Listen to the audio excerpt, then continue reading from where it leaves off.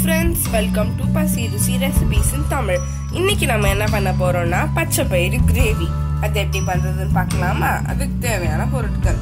பாருங்க. பச்சை பயிறு. இது வந்து ஒரு கப் எடுத்திருக்கேன். ஒரு எட்டு மணி நேரம் நல்லா கழுவி ஊற வச்சுட்டு மறு எட்டு மணி நேரம் கழிச்சு தண்ணியெல்லாம் இருத்துட்டு இந்த மாதிரி ஒரு இது வச்சிருக்கேன். இந்த பாருங்க எவ்வளோ நல்லா முளைச்சி வந்திருக்கு பாருங்க. ஒரு கப்பு பச்சை பயிறு முளைச்சது. ரெண்டு வெங்காயம் மீடியம் சைஸு ரெண்டு வெங்காயம் தக்காளி சின்ன சின்னதாக ரெண்டு தக்காளி சோம்பு ஒரு டேபிள் ஸ்பூன் ஒரு ஆறுலேருந்து ஏழு பல்லு பூண்டு ஒரு துண்டு இஞ்சி. இது இப்போ நம்ம மிக்சியில் அரைக்க போகிறோம் பாருங்க ஒரு மிக்சி ஜாரில் இஞ்சி பூண்டு சோம்பு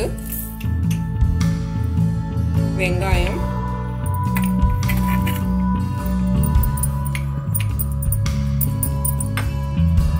வெங்காயத்தை ஒரு சுத்து அரைச்சிட்டு தக்காளியை சேர்த்துக்கலாம். தக்காளி மசிஞ்சிடும்.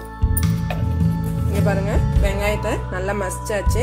அடுத்து தக்காளியை ஆட் பண்ணி தக்காளியை நல்லா ஸ்மாஷ் பண்ணி அரைச்சிக்கலாம். நான் சட்டியில் இன்னைக்கு செய்கிறேன் பாருங்க. நல்லெண்ணெய் ஒரு ரெண்டு டேபிள் ஸ்பூன்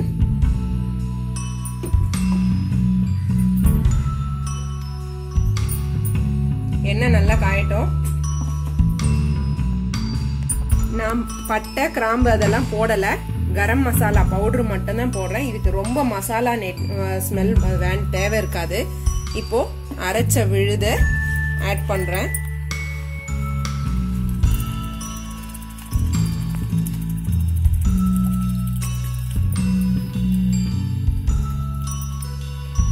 நல்லா பச்சை வாசனை போகிற அளவுக்கு வதக்கிக்குங்க.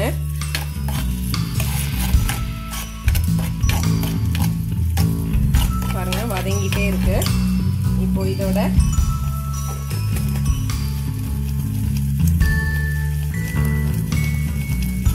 காரத்துக்கு வெறும் மிளகாத்தூள்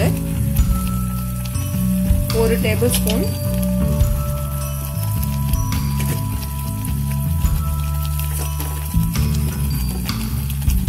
அரை டேபிள் ஸ்பூன் வந்து தனியா பவுடரு இது எல்லாமே வீட்டில் அரைச்ச பவுடரு தான்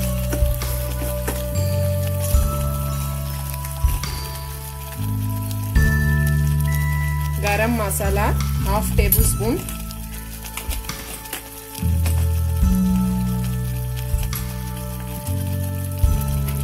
மஞ்சள் பொடி ஹாஃப் டீஸ்பூன்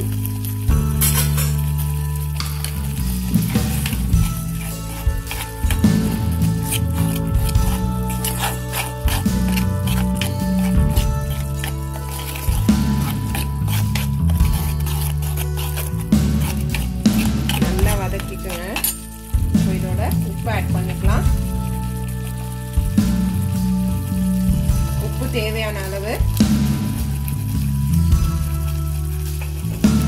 நீங்க காரம் கொஞ்சம் நிறைய சாப்பிட்றவங்களா இருந்துச்சுன்னா காரம் இன்னும் கொஞ்சம் ஆட் பண்ணிக்கோங்க.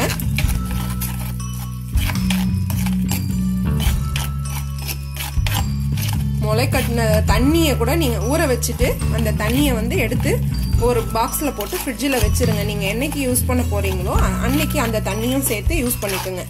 அந்த தண்ணியை வேஸ்ட் பண்ணிடாதீங்க. அந்த தண்ணியில் நல்லா ஊறினதோட சத்து ரொம்ப இருக்குது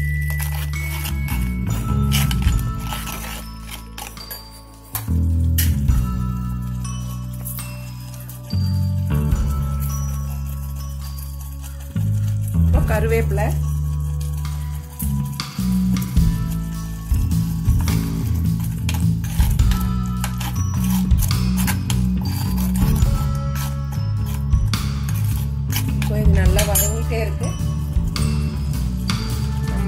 வச்ச ஒரு கப்பு முளைக்கட்டின பச்சை பயிர் இது சப்பாத்தி தோசை இட்லி எல்லாத்துக்கும் ரொம்ப டேஸ்ட்டாக இருக்கும். ரிச் ப்ரோட்டீன் இதில் இருக்கு.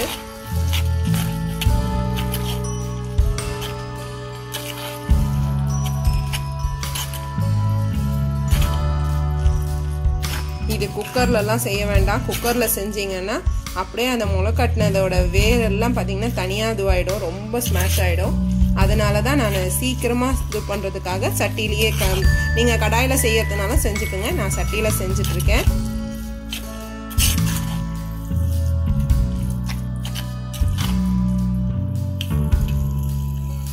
பாருங்கள் இப்போ நான் எடுத்து வச்ச தண்ணியை இதோட மிக்ஸ் பண்ணிக்கிறேன்.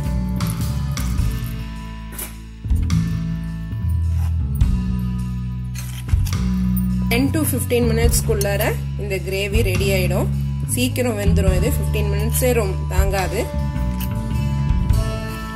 பாருங்க நல்லா கொதிக்குது. புளியெலாம் எதுவுமே தேவை கிடையாது. பார்த்தீங்களா ஃப்ரெண்ட்ஸ் நம்மளோட பச்சை பயிறு கிரேவி ரொம்ப டேஸ்ட்டாக ரெடி ஆயிருக்கு. இது நீங்கள் சப்பாத்திக்கோ இல்லை இட்லிக்கோ இல்லாட்டி தோசைக்கோ தொட்டு சாப்பிட்டா ரொம்ப டேஸ்ட்டாக இருக்கும். இது நீங்களும் உங்கள் வீட்டில் ட்ரை பண்ணி பார்த்துட்டு எப்படி இருந்ததுன்னு கமெண்ட்டில் போடுங்க. எங்கள் சேனலை சப்ஸ்கிரைப் பண்ணாதவங்க சப்ஸ்கிரைப் பண்ணிட்டு பக்கத்தில் இருக்க பெல் ஐக்கானையும் ப்ரெஸ் பண்ணிவிடுங்க பாய் ஃப்ரெண்ட்ஸ்